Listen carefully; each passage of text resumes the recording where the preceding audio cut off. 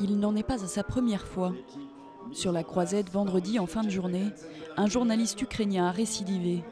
Le jeune homme âgé de 26 ans s'est jeté sur Kate Blanchett et America Ferreira qui montaient les marches avec l'équipe du film Dragon 2.